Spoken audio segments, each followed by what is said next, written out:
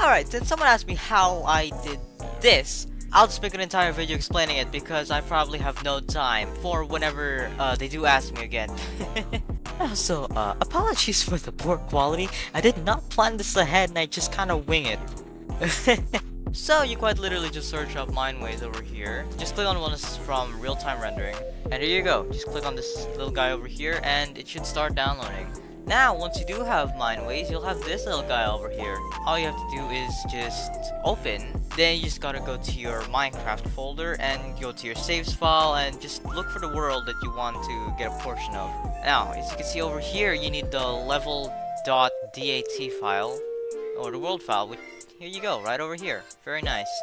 So just open that and there you go. There's your world. Now as long as your chunks are rendered, have been rendered, then you will have no problem. It will appear right here already. Now you just look around with your left click and you select with right click. It's as easy as that. Select this. Now it will have like a little pop-up for you. It's your choice. Like just just read through that. When you select, you're selecting in three dimensions. Shown a depth slider near the top, you can adjust this depth by using the slider or open bracket and close bracket keys. Simple enough to understand. You want to set the depth to 33 to select all visible blocks. Now, if you don't want too much like vertices and polygons, then uh, yeah, I recommend this. now, once you have your part selected, just go all the way to the top left and I will be when rendering this in Blender. I just export for rendering. This will open up a file explorer for you to name your file. I'm just gonna call this tutorial and literally just put it into the folder that you want it to be in. It'll pop up with this little thing here. You can go through this to see uh, what works for you. I'm just gonna simplify the mesh and stuff. And once you're all set up here, just press OK and wait a bit. Great, now you have a portion of your world just right there. Now, all we gotta do next is open up Blender. I'm using Blender 4.1. And here you go, just delete the all the default stuff here if you want and gonna press import or we can just drag and drop here and import wavefront obj and there we go we have our world in blender. Obviously um it doesn't have any of the textures of the blocks so you want your juicy textures to be there for the rendering of course.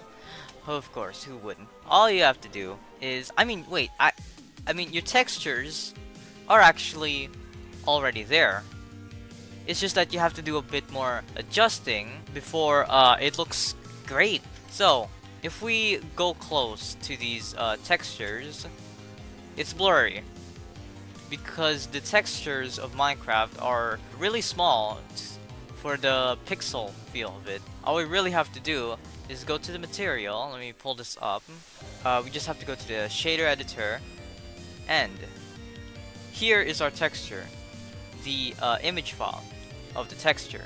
Now instead of uh, it being linear over here, the text we have to change the texture interpolation to closest. Now it's a bit more clear.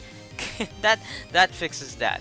But it's gonna get very tedious for for do doing that for every single texture that's here, which is a lot, really. now, lucky for me, I found a script online that helps me do just that. So we go to the scripting tab over here, press new, name it whatever you want. I'm gonna call it balls. Now you can just ignore these things over here, we just gotta put the script here. This is the script to change all of the texture interpolations for the blocks to closest, which will fix all this uh, blurry kind of stuff. I don't think it's much noticeable from afar, but if you're taking like close-up shots of something, then you definitely need it. So we're scripting, this is the script. If you want to copy it, then sure. Just run the script and everything should be good. See, the little checks over there. Everything is now fixed and alright. if, but like I said, if you're doing close-up shots, you need to do some more adjustments. For example, if you have a block that's like that has transparency on the textures, like this torch over here, you have to change some more stuff that uh, I don't really have a code for. but, and honestly, I don't know if it will break some stuff, but uh, haven't I haven't I don't know yet, but uh, just in case. So we're gonna look for the torch texture over here. just scroll down a bit till you see the settings right over here. Now you want to set the blend mode to alpha clip and the shadow mode also to alpha clip. And then there's your torches, it's fixed. Also, this also works for other stuff like grass, flowers, chains, just all the stuff that has transparency. now, I'm not gonna do, I'm not, I'm not, I can't be asked to um, give everything light, like give torches light, because as you can see, it's very minimal. Even with like the emission, it already has. So uh, no, I'm not doing that. You can get a point light and put it where the light would be coming from and just put it inside the block.